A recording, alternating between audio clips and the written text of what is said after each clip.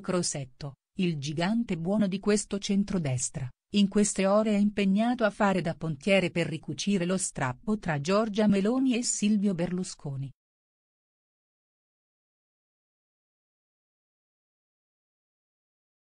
La lista dei giudizi del CAF sulla leader di Fratelli d'Italia apparsa al Senato pesa come un macigno nelle trattative di governo.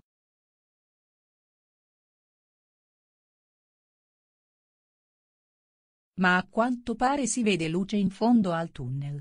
Un faccia a faccia tra Berlusconi e la Meloni dovrebbe risolvere tutto e dare il via alla messa a terra della squadra di governo che dovrebbe giurare molto probabilmente alla fine di questa settimana, o al più tardi lunedì prossimo.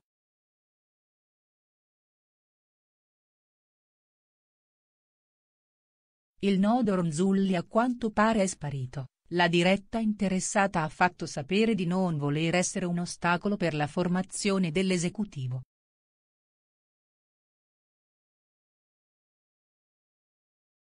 E Crosetto, in un'intervista al Corriere, ha spiegato in modo chiaro quali sono i motivi per cui è scattato il veto sul nome della Ronzulli, un premier ha diritto di scegliere chi ritiene più adatto per ogni ruolo.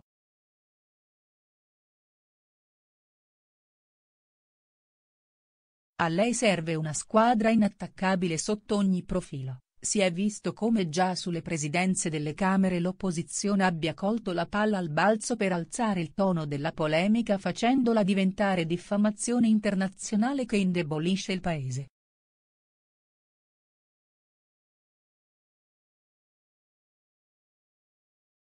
Poi Crosetto esclude colpi di scena e ribaltamenti di fronte con allargamento della maggioranza al terzo polo in caso di ulteriori tensioni con Forza Italia. Con Meloni presidente lo escludo.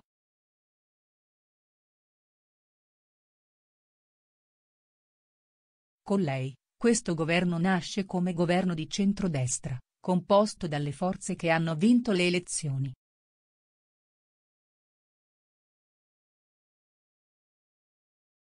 Ma non vedo alternative a un governo di centrodestra. Non c'è spazio, e non ce ne sarà alcun bisogno.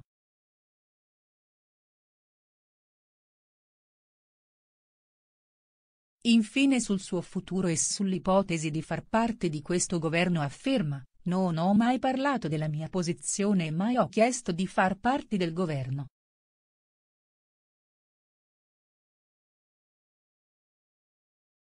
Sono felice di fare quello che faccio.